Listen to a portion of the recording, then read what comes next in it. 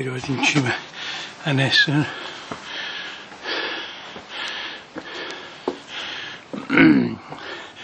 Giornata delle guide. Cos'è giornata delle guide comasche?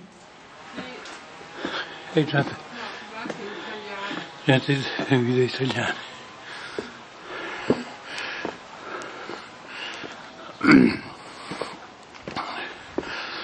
Siamo arrivati quasi in cima.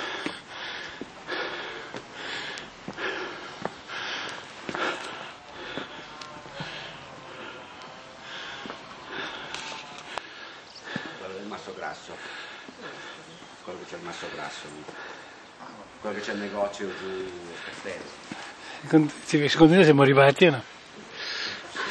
Però c'è un affresco di crocifisso segni della passione. Vedete il segno del bed and breakfast è stato scelto in base perché contiene questa casa un enorme masso erratico, anzi due Così. Quindi facciamo.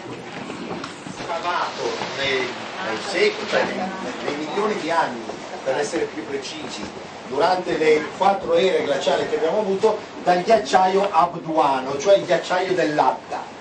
Il ghiacciaio dell'Adda scendeva dalla Val Chiavenna e dalla Valtellina naturalmente, aveva 1300 metri di spessore e quindi immaginatevi la potenza che aveva e nel suo passaggio lentissimo, però il ghiaccio ricordiamoci che è acqua, spostava, eh, spaccava le montagne e le trasportava dai pezzetti. Questi due sassolini qui, tanto per darvi l'idea, vengono dalla Val Masino. La Val Masino è Ghiandone, Serizzo Ghiandone della Val Masino. La Val Masino è, se lo sapete, una delle laterali diciamo, della Valtellina, quindi di strada ne ha fatta parecchia. Immaginatevi quindi questa, questa potenza enorme che trasportava queste pietruzze nei suoi bordi, poi quando il ghiacciaio si è sciolto i massi hanno cominciato a rotolare, sono caduti, tantissimi sono caduti sul fondo del lago. Anzi, mi hanno spiegato dai geologi che sono venuti a vedere questi massi, eh, che il lago di Como risulta così pulito perché hanno calcolato i geologi che eh, sul fondo del lago ci siano circa 350 metri di spessore di massi erratici, che fanno un po' come un filtro, perché come il filtro dell'acquario, no? E l'acqua circola all'interno e si purifica ed è per questo che il lago, che tra l'altro ha un ricambio d'acqua anche veloce, perché ogni 5 anni l'acqua del lago è completamente rinnovata, però rimane pulito grazie anche ai massi erratici. Bene, i massi erratici tra l'altro si dice che siano stati anche un po' la fortuna dei magistri cumacini, perché questo eh, cerizzo ghi- ghiandone qui, questo granito, è di ottima qualità, nel senso che noi qui abbiamo la pietra locale che è questa grigia, è una, eh, un calcare, no? il calcare delle grotte perché il fondo marino è affiorato ed è calcare ed è ottimo perché si può tagliare in cubetti, sì, è facile costruire, ma non ha quella resistenza che invece ha questo sasso. Allora, i magistri cumacini, soprattutto nella Val d'Intelvi, dove pare ci fossero tantissimi massi erratici, ci fossero perché li hanno usati quasi tutti, eh, loro avevano la fortuna di trovare i sassi fuori casa, non dovevano andare alla cava a prenderlo, quindi diciamo che la- i maestri lapicidi abbiano cominciato a lavorare tanto il sasso, specializzandosi talmente tanto da ottenere un successo che li ha portati in giro per tutta Europa nel- nel- nel- nei, nei- secoli, talmente eh, erano facilitati che sono diventati bravi e li chiamavano dappertutto e già si parlava dei maestri eh, Comacini al tempo dei Longobardi. eh. Allora c'è qualcuno che ha detto ma Comacini non è detto che perché venivano dal lago di Como.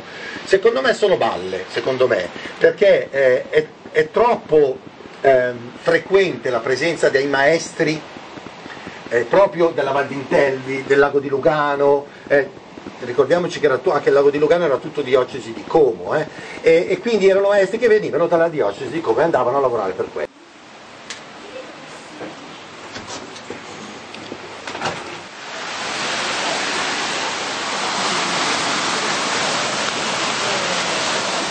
Di là e, e qua si vede c'è una bella vista lì comincia la famosa cascata che abbiamo visto l'anno scorso dall'altra parte Il mulino.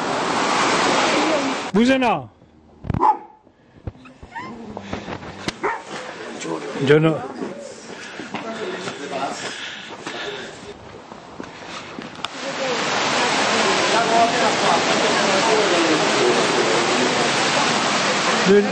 La ruota dov'è che era? Era là, dai, non andare là. Grazie. Sì, bene. Grazie. È buono.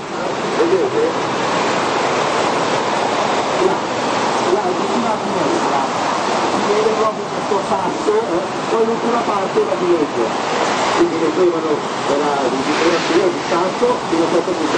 Poi l'ultimo pezzo che deve prestare per girare e per girare. La, la realtà diciamo produttiva di adesso era, era importante.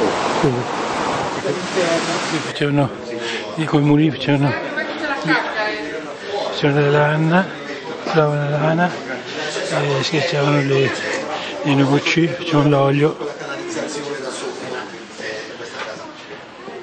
Qui c'è un altro lavatoio, però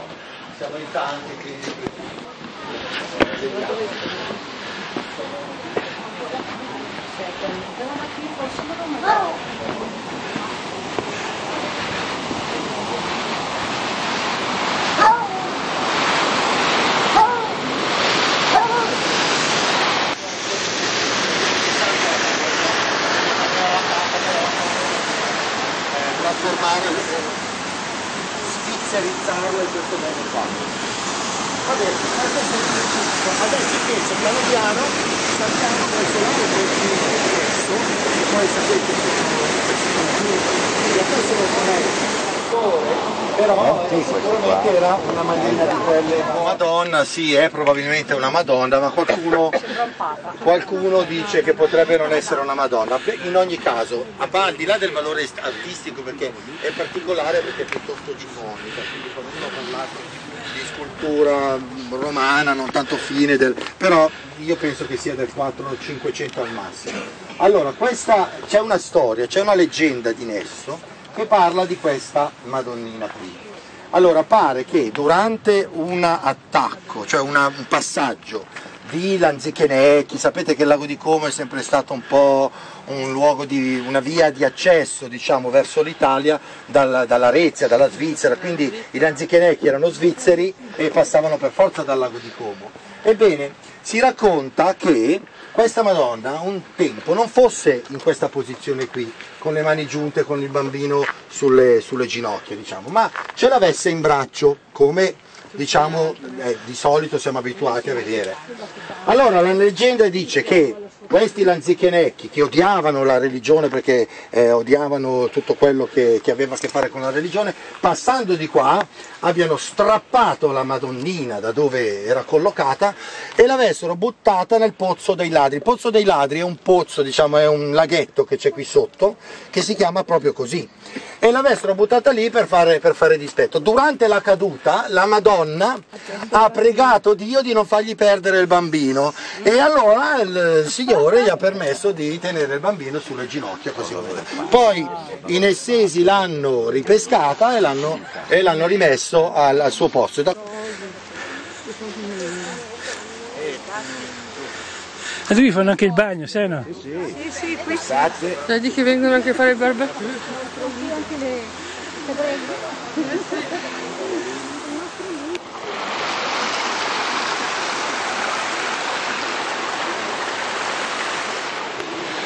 Qui si va sul piano di divano e poi si va camminando, camminando anche Venezia e il suo oriente.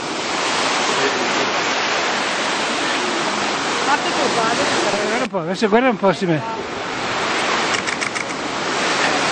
Ehi.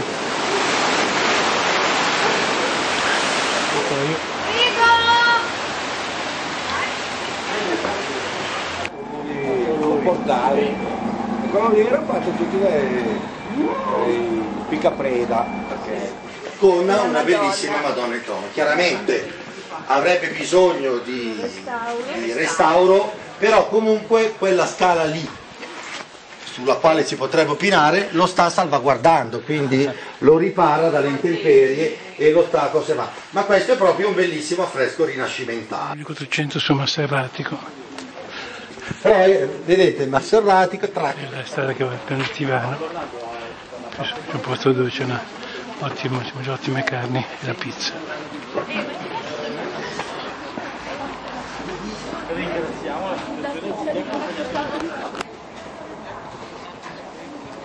Avevano Vico fondato quest'ordine, che connesso non era un ospedale, ordine gli, umiliati. eh, poi sono stati riconosciuti nel 1201, ma era diviso in tre ordini. C'erano i laici, che erano dei laici delle famiglie normali, che vivevano eh, diciamo, eh, in maniera eh, parsimoniosa, parca, di- di- diciamo come vogliamo, vivevano poveramente in comunità.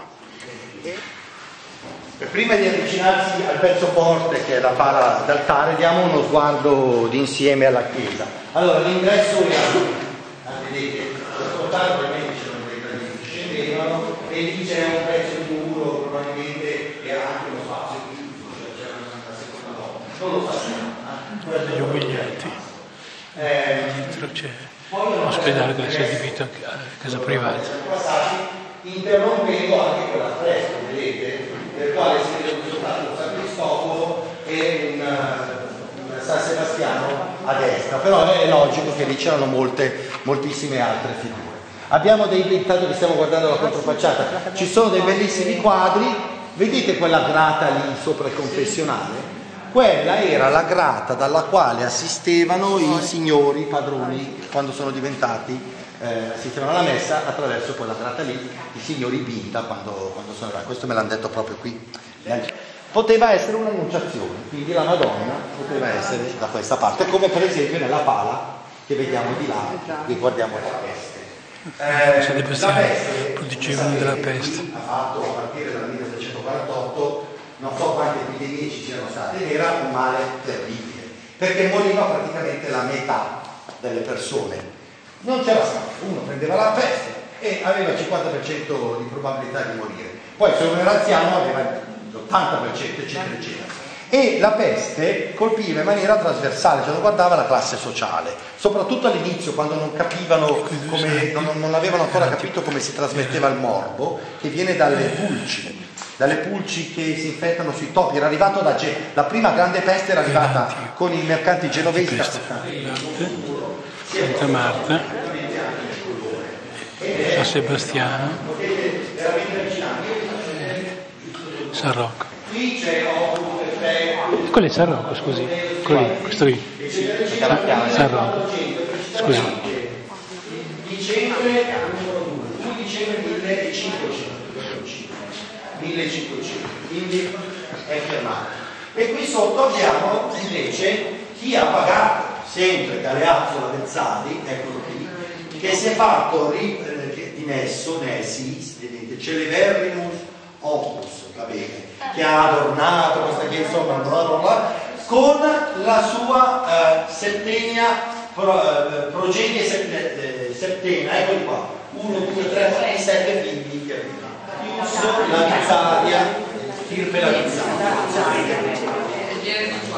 Era il canonico dell'ospedale degli umiliati. Rimessa a posto. Lui dice 500.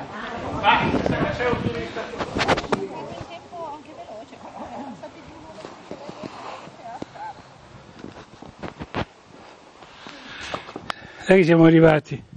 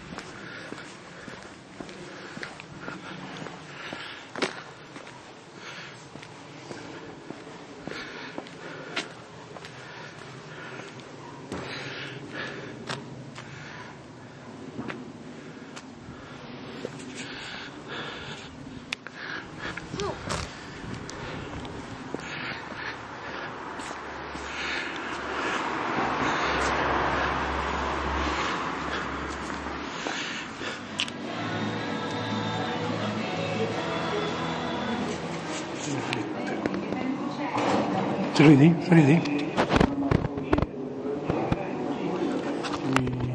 La viola e funghi porcini da Emilio Coetanesso, alta Da Eugenio, scusate. Eh, di qua, eh, Venezia, di qua. Ma sì, vedono di giù di qua. Eh?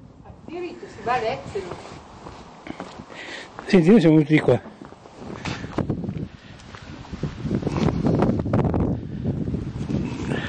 Andiamo? Sì.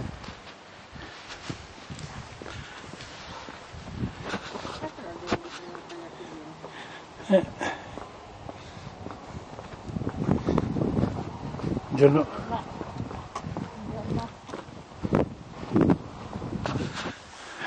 E così abbiamo finito il nostro percorso in quel di Nesso con le- con l'ausilio delle, delle guide comasche, giornata gratuita.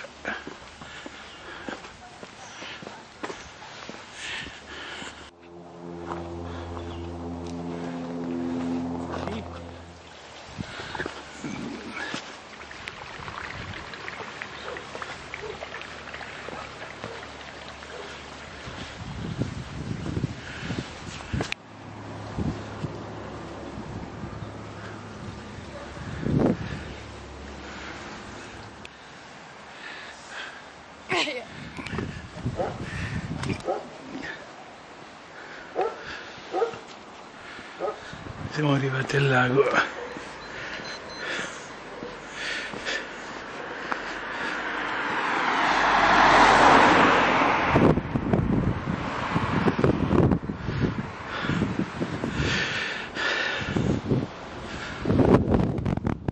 Hai visto? L'orrido.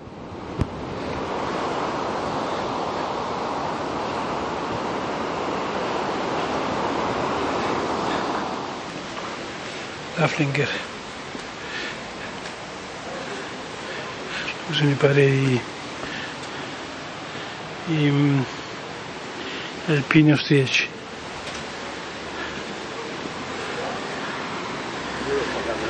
Che